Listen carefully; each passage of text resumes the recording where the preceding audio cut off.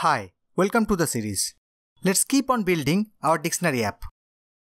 If you want to master Android apps and games development, click subscribe and the bell icon and let's do this together.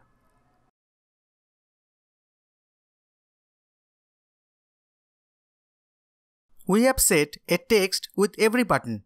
This text simply contains an alphabet. Get the clicked buttons text and store in a string variable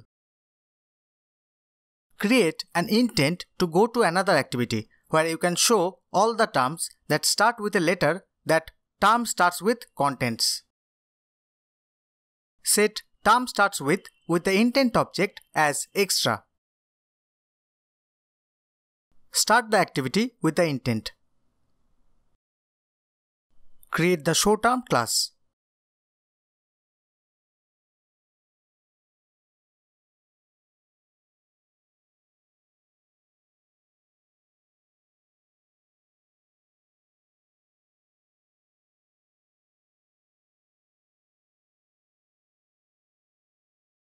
Let's create the layout for this activity.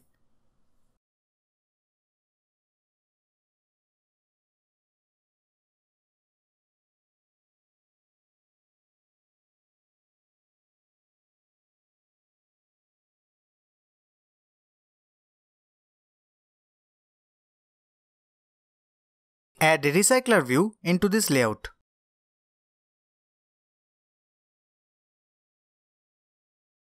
I am assigning RV terms as ID. Next, create the layout for a single item.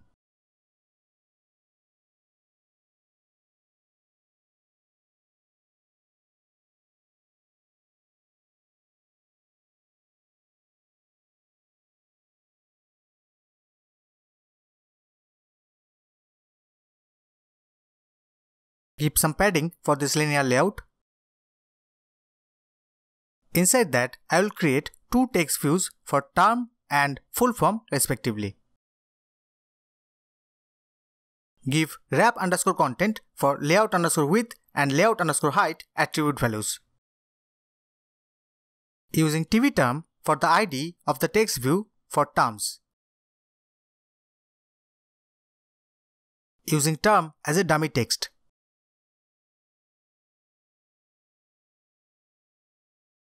For text size, I will give 24 SP.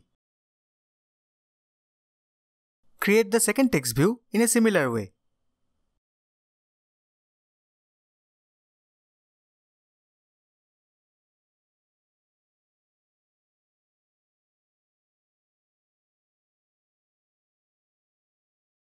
Using TV full form for the ID of the text view for full form.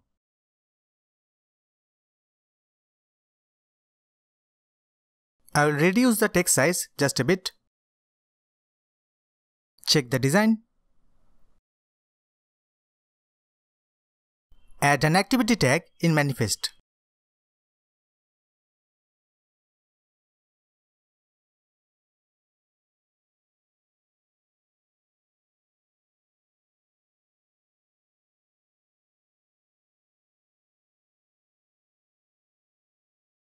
So, to recap, in this short video, first we have defined the show method.